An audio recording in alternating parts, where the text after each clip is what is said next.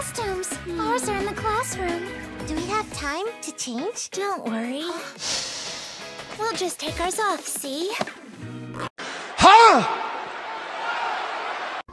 Huh?